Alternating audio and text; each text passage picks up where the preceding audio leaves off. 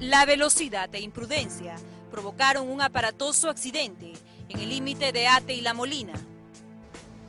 Esta combi terminó totalmente destrozada y se subió sobre la vereda tras chocar contra un bus de transporte público. El bus que hacía la ruta La Molina-Santa Anita iba repleto de pasajeros por la avenida Los Frutales. En el cruce de la avenida Separadora Industrial impactó violentamente contra esta combi con dos personas a bordo. Hemos estado bajando, normalmente bajar la la avenida embalado con lleno de pasajeros.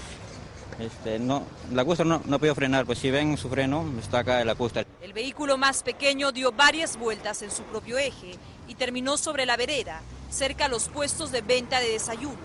El carro de Javier Prada venía, es ómnibus, no sé, carro grande, y se han agarrado así pues. Velocidad, sí, velocidad. El accidente se produjo cuando el semáforo se encontraba con la luz intermitente. Al parecer, el conductor del bus, Jimmy Aliaga Alguay, no pudo frenar a tiempo por la excesiva velocidad. Yo bajaba en la parte de allá tranquilo, la costa era venido, o sea, embalado, pues, una cierta dirección to tocando su claxon. ¿Una costa de transporte público? Transporte público. Los pasajeros del vehículo de transporte público resultaron ilesos. Una mujer que iba como copiloto de la combi terminó con golpes y cortes y fue llevada en una ambulancia hacia una clínica cercana. El bus de la empresa Modaza tiene varias papeletas por casi 30 mil soles en multas. ¿Y por qué?